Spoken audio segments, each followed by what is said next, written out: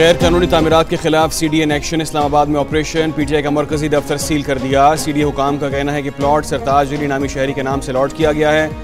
Plot से मुलहका अराजी पर कब्जा करके तजावजात कायम की गई। बिल्डिंग में बाई लॉज के खिलाफ वर्जी करके इजाफी मंजिल भी तामीर की गई थी।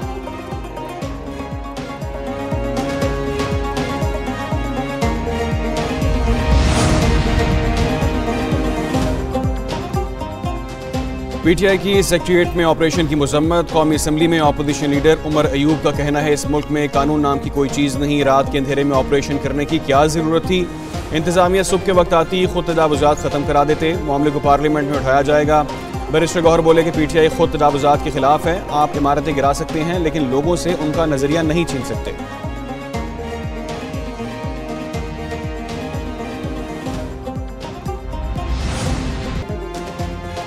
अरब अमारात दस अरब डॉलर सरमाकारी पर तैयार। वजी अजम की कोशिशें कामयाबी से हमकिनार। वजी अजम शहबाज शरीफ का यू ई का अहम दौरा। सदर शेख मोहम्मद बिन जायद अल से मुलाकात। सियासी, इकतसादी और दिफाई शोबों में ताउन पर बातचीत। पाकिस्तान की अरब अमारात के साथ शराकदारी में फ़रोग के अज़म का अदा आई टी तोानाई सयाहत पोर्ट्स गज़ाई तहफ़ मादनियात और दीगर शोबों में सरमाकारी पर अमल दरामद यकीनी बनाया जाएगा। वजी अजम से चेयरमैन अबूजबी ऐवान तजारत की भी मुलाकात हुई। शकोल तोड़ दिया, अरब अमारात से कर्ज नहीं सरमाकारी चाहते हैं। वज़ीर अजम शहबाज शरीफ कहते हैं, अमारात आई टी की फ़ील्ड में लीड कर रहा है। सदर यू यूएई पाकिस्तान के अजीम दोस्त हैं। यू यूएई से मिलकर पाकिस्तानी मीशत को मुस्तकम करना चाहते हैं। ढाई माह में आई टी शोबे में सूदमंद इकदाम किए। वजी अजम की आई टी कंपनीज़ में शराकदारी पर राउंड टेबल सेशन में शिरकत, इमाराती कंपनियों के सरबराहों को अवार्ड्स दिए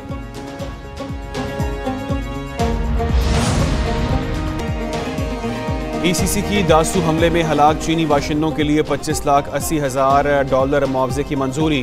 बीजिंग में पाकिस्तानी सफारत खाना हलाक, चीनी बाशिंदों के लवाहकिन को रकम अदा करेगा। वज़ीर ख़जाना मोहम्मद औरंगज़ेब की जेर सदारत इकतदी रबता कमेटी का अजलास हुआ। रोज़ वैलेट होटल, न्यूयॉर्क के अखराज के लिए अस्सी लाख डॉलर जारी करने की भी मंजूरी दी गई।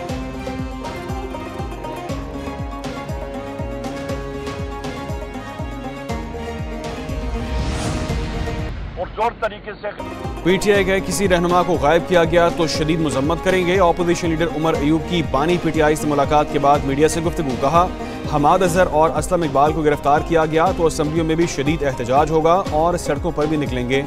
हमाद अजहर और मियाँ असलम से ज़बरदस्ती बयान लिया गया तो नहीं मानेंगे। उमर अयूब ने कश्मीर फसादात का जिम्मेदार, विफाकी हुकूमत को करार दे दिया।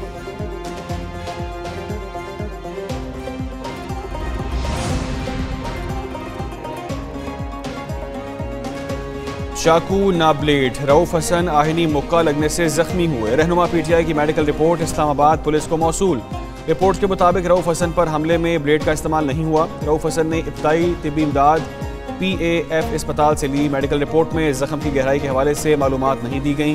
तर्जुमान इस्लामाबाद पुलिस के मुताबिक रऊफ हसन केस की तफ्तीश मेरिट पर प्रोफेशनल अंदाज में की जा रही है।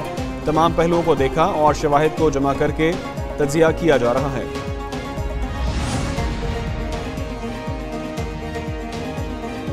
वजी अला खैबर पख्तूनख्वा की विफाक के खिलाफ जरहाना बयानबाजी का नतीजा। Ali Amin Gandapur S I F C इजलास से आउट इलामिया के मुताबिक अली अमीन का नाम इजलास में मदू अफराद में शामिल नहीं।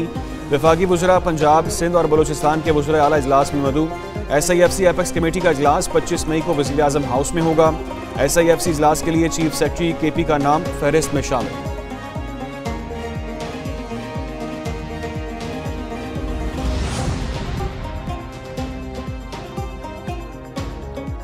स्पीकर कौमी असम्बली सरदार अयाज सादिक का दौरा लंदन हाउस ऑफ़ कॉमन्स बरतानिया के स्पीकर से मुलाकात। ईवानों की कार्रवाई चलाने, अवामी मसाइल हल करने और पार्लिमानी अमूर पर तबादला ख्याल। सरदार अयाज सादिक ने होयल का दौरा भी किया और पाकिस्तान की दावत जियो जो उन्होंने कबूल कर ली। सरदार अयाज सादिक ने कहा कि पाकिस्तान की पार्लियामेंट समाजी इकतदी तरक्की, खवतिन को बाख्तियार बनाने और मौसमियाती तब्दीली से मुतल कानून साजी पर खसूसी तोज्जो दे रही है।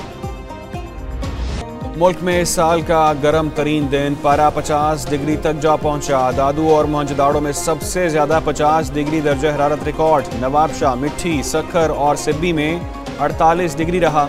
डेरा गाजी खान में सैंतालीस, लाहौर बयालीस, इस्लामाबाद इकतालीस और कराची में अड़तीस डिग्री सेंटीग्रेड रिकॉर्ड किया गया। लाहौर में शदीद गर्मी के साथ हब्स ने भी मुश्किल पैदा कर दी। मुल्क भर में हीट वेव इस्लामाबाद के स्कूल में कई तलबा और तलबात की हालत गैर हो गई। हीट वेव का शिकार स्कूल के बच्चों की फुटेज मंजर आम पर आ गई। ढो गंगाल के एफ़ जी स्कूल में गर्मी और लोड शेडिंग की वजह से तालिबात क्लास रूम में बेहोश हो गई। जिन अस्पताल कराची में हीट स्ट्रोक के मजीद तीन केसेज रिपोर्ट हीट स्ट्रोक के खदशात पर कौमी इदारा सेहत ने एडवाइजरी जारी कर दी, कहा, पाकिस्तान को शदीद मौसमियाती तब्दीलियों का सामना है। मुतल महकमों और आवाम की तरफ़ से फौरी इकदाम नागुजीर हैं।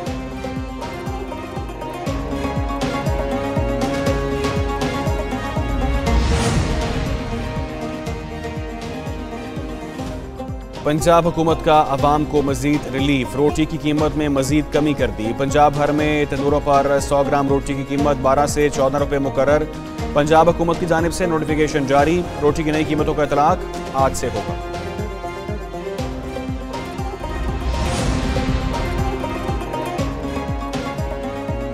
इस्लामाबाद से सकरदू जाने वाली निजी एयरलाइन की प्रवाज हादसे से बच गई। इस्लामाबाद एयरपोर्ट से टेक ऑफ़ के फौरी बाद तैयारे में फनी खराबी पैदा हो गई। टेक ऑफ़ के बाद तैयारे का लैंडिंग गियर बंद ना हुआ। तैयारे ने इस्लामाबाद की फिजा में दो चक्कर लगाए। पायलट ने तैयारे को दोबारा इस्लामाबाद एयरपोर्ट पर बाहिफाजत उतार लिया। इस्लामाबाद से सकरदू की प्रवास को मनसूख कर दिया गया।